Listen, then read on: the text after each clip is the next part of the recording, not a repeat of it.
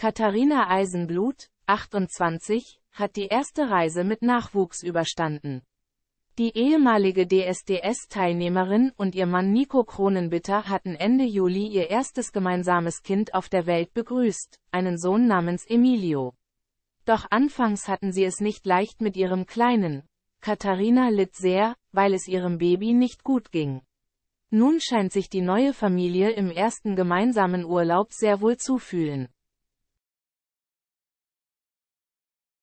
Auf Instagram teilte die 28-Jährige einige Fotos mit ihrem Liebsten und dem kleinen Emilio.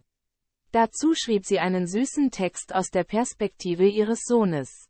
Ich war das erste Mal im Urlaub und Mama war so unendlich aufgeregt, fing sie an. Offenbar waren die Neueltern mit ihrem Schatz in die Türkei gereist. Aber es lief nicht alles nach Plan. Ratet mal, wer am Ende auf dem Sofa schlafen musste und wer im Bett mit Mama schmusen durfte?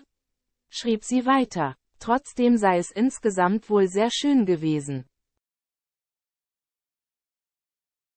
Zuletzt hatte die Brünette ganz offen ihren Körper direkt nach der Entbindung gezeigt, um anderen Müttern Mut zu machen. Ich möchte euch zeigen, dass es ganz normal ist, dass man nach der Schwangerschaft so aussieht, hatte Katharina zu dem Schnappschuss von sich gemeint.